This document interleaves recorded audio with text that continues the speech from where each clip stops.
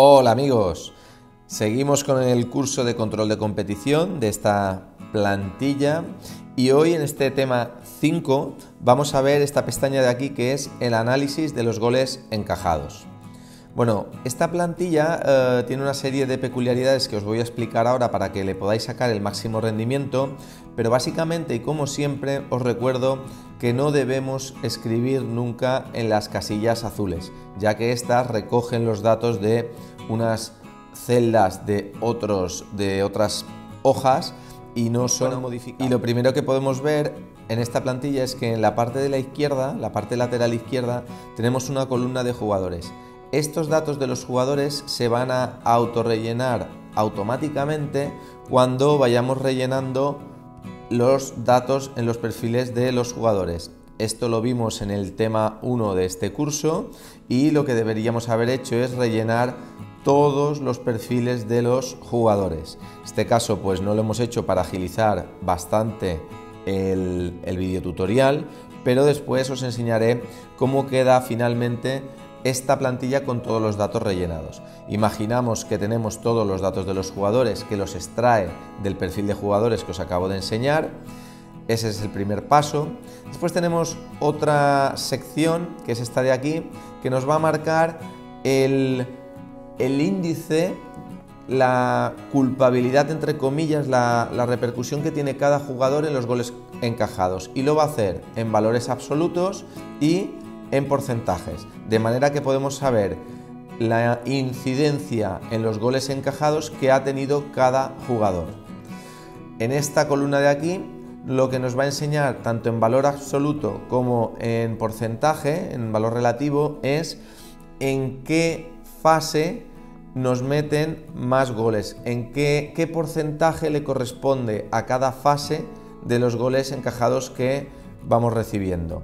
Va a hacer lo mismo en los principios tácticos y en los conceptos tácticos. Como veis, estas tres columnas de aquí están en naranja porque son absolutamente modificables. En este caso he dispuesto seis fases, si creéis que hay más podíais rellenarlas aquí, pero a su vez también teníais que recalcular estas fases. ¿vale?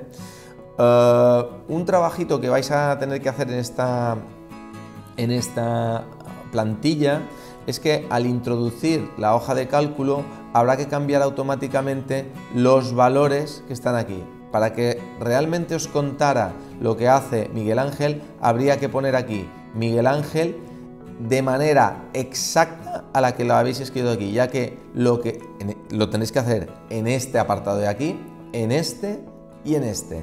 Eh, seguidamente, cuando ponemos Juan Antonio, lo vamos a hacer para que veáis que nos lo puede calcular Juan Antonio. En este apartado de aquí vamos a hacer lo mismo, vamos a colocar exactamente el nombre que hemos introducido en la ficha de perfil y si no nos acordamos o tenemos dudas es tan fácil como mirar esta celda de aquí. Ahora sí que nos va a contar los valores para el portero Juan Antonio, ya que lo que él hace en este apartado de aquí es buscar las veces que se nombra a esa cadena de texto, por ejemplo Juan Antonio, para asignarle un valor y un tanto por ciento relativo. Ahora veremos cómo funciona. Bueno, proseguimos con la columna de fase. En este caso hemos puesto las fases, tendríais que, si le cambiáis el nombre a las fases o añadís, tendríais que cambiarle también el nombre, como veis aquí, pues ya aparece la palabra defensa, porque lo que va a hacer va a ser buscar el texto defensa en este apartado de aquí para darle y asignarle un valor y calcular cuántas veces aparece ese, ese texto defensa. Por lo tanto, si cambiáis este nombre, también tenéis que cambiar estos tres valores de aquí por el mismo nombre que le deis. Lo mismo tenéis que hacer con los principios, aquí os salen unos predeterminadamente, en este caso son algunos de los que nosotros estamos utilizando en el equipo, y también lo mismo para los conceptos.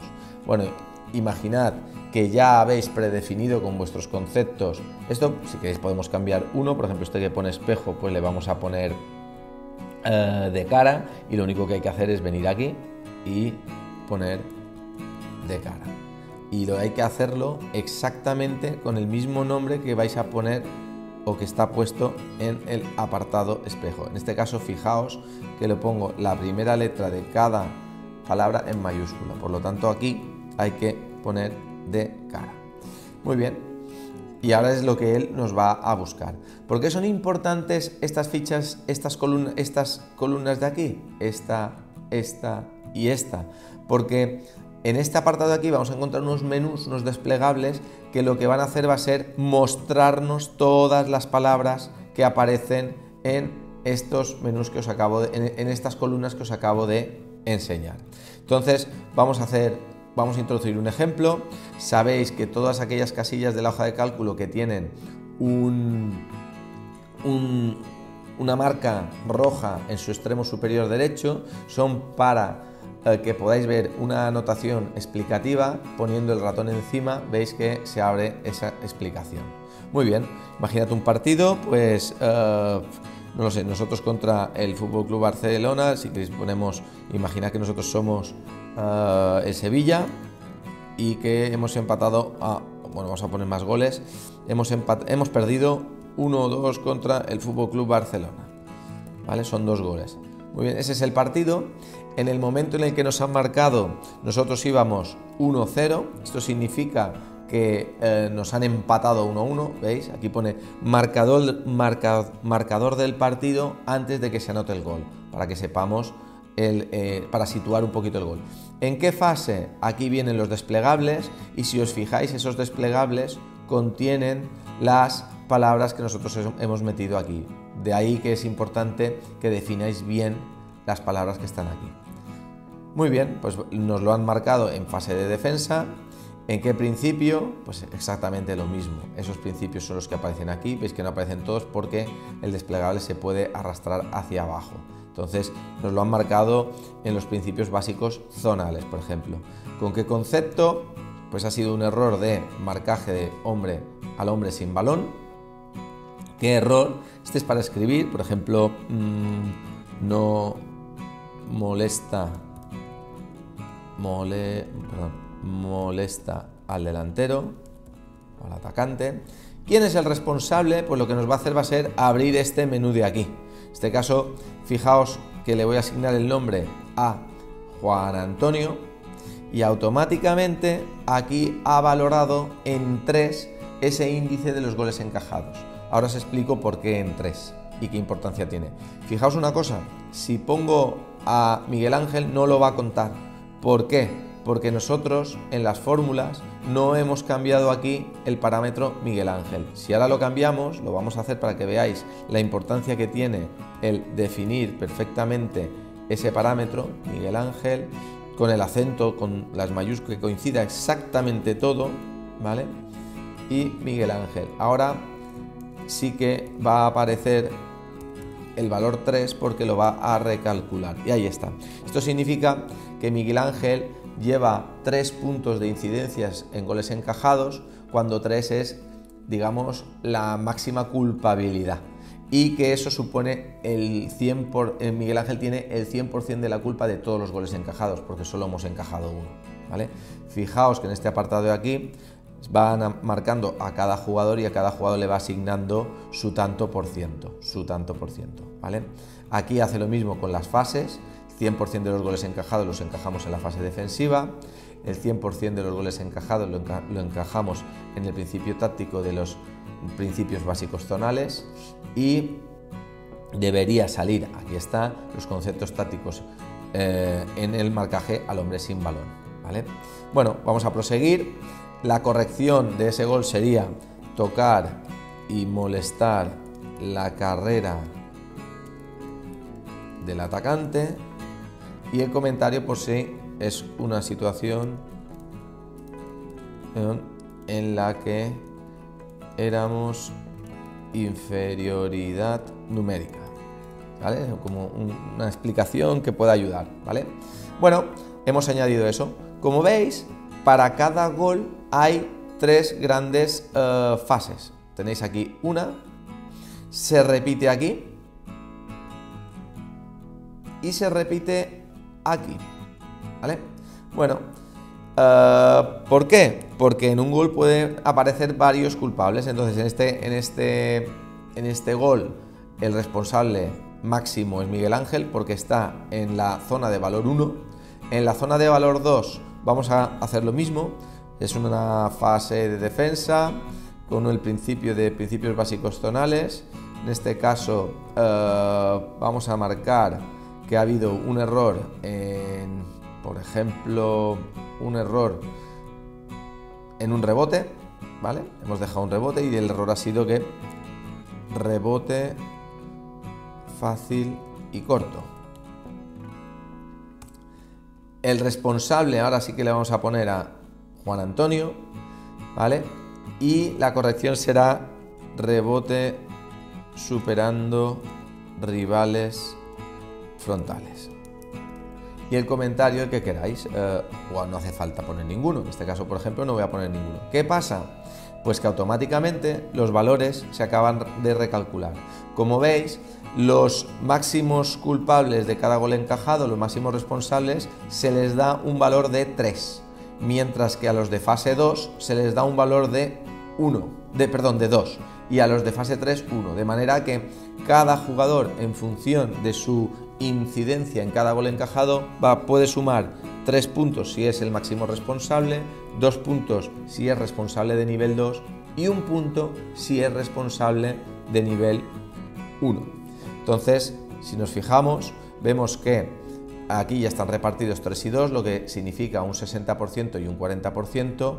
Aquí la fase es la misma, defensa 100%, y aquí vemos que aparece el principio básico zonal. Aquí se vuelven a repartir, ya que el primer error ha sido en marcaje hombre sin balón y el segundo error el, rebote. Cuando digo primer y segundo error no significa que vayan en orden cronológico, sino que primero haya pasado uno y que después haya pasado el otro, sino eh, me refiero a primero y segundo en nivel de importancia. Ahí lo importante es que eh, tengáis siempre el mismo criterio. Y aquí los gráficos ya se van repartiendo. Aquí Miguel Ángel tiene el 60% de culpabilidad en los goles encajados.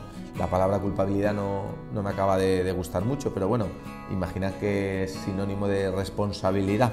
Juan Antonio presenta el 40%. La fase en la que nosotros pecamos, entre comillas, más es la defensiva. El principio táctico es el principio básico zonal y ahí están los conceptos tácticos, en este caso rebote y marcaje al hombre sin balón. Os recuerdo que todos estos valores de aquí son modificables. Al modificar un valor de aquí, por ejemplo, recordad que aquí ponía espejo y ahora pone de cara, y si vamos al último gráfico, aquí ya nos lo ha cambiado de cara. Por lo tanto, al personalizar las celdas naranjas, los valores de los ejes X se van a ver transformados automáticamente. Y bueno, eso es en gran parte eh, cómo se gestiona este análisis de los goles eh, encajados. A su vez, esto lo vamos a ver cuando expliquemos la última gráfica de la última plantilla de todas, que es la total.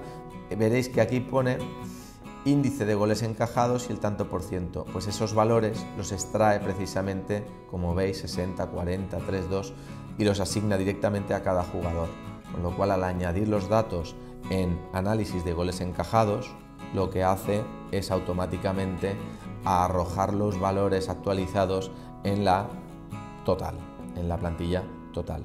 Si queréis os puedo mostrar una hoja de cálculo en la que aparecen los datos ya puestos para que veáis un poquito. Vamos a, no hace falta actualizar y nos vamos a ir aquí a análisis de goles encajados. Aquí se han ido llenando con los nombres con, los con las fases, principios y conceptos y como veis los valores ya van cambiando. Donde se ve y se aprecia más es en, el, es en, el, en los gráficos. ¿vale? En los gráficos se ve la incidencia que tiene en porcentaje, la incidencia que tiene cada jugador, la incidencia en cada fase, en cada principio táctico y en cada concepto. Eso nos puede dar muchas pistas de por dónde encajamos los goles y a su vez de cómo corregirlos mediante ejercicios de, entrenamiento durante las sesiones de entrenamiento. Como veis esto lleva un trabajo y aquí un consejo que os doy si queréis es que podéis uh, linkar o poner un enlace en cada gol de manera que al gol yo si pongo el ratón encima y pincho creo un hipervínculo que me abre automáticamente, voy a quitar el volumen para que me podáis que me abre automáticamente ese, ese gol, para que lo pueda recordar, visualizar, etcétera, etcétera. Entonces aquí tenéis ese gol que se ha marcado.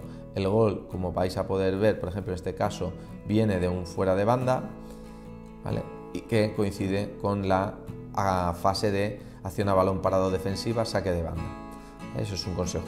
¿Cómo se hace? Pues muy sencillo, vais a una casilla y aquí en hipervínculo, perdón, inserta, ahí, perdón, aquí, botón derecho del ratón y aquí en hipervínculo le podéis asignar el enlace que vosotros queráis.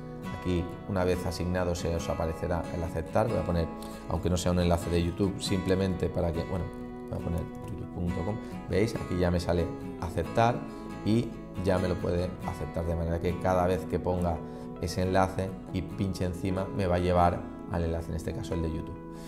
Y bueno, ahí tenéis perfectamente una hoja de cálculo con el análisis de goles encajados rellenada, real.